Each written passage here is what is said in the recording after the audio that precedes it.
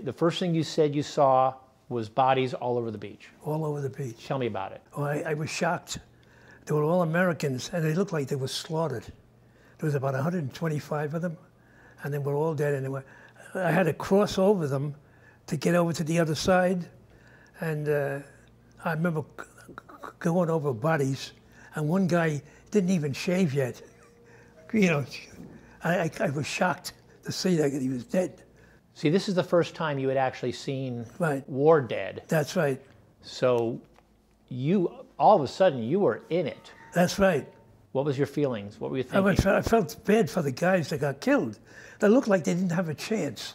They got mowed slaughtered. down. There was uh, Germans up on a hill, and there was six of them with machine guns. Boom. So when that happened, I, I phoned up and requested artillery, and we blasted them out of there. So when you got to Omaha, did you ever shoot anybody?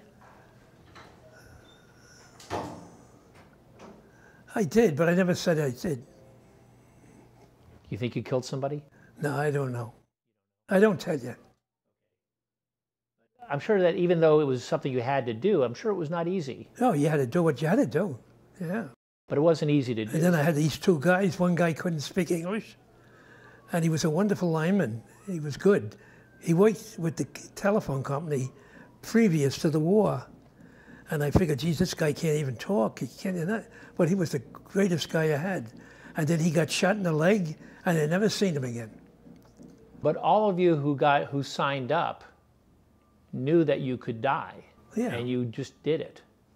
Uh, God was with me. You knew it was something you had to do. Yeah, that you were there for one reason. That was the time, the way the times were. You knew you were doing an important thing, and you knew it might not end well. Yeah, I know.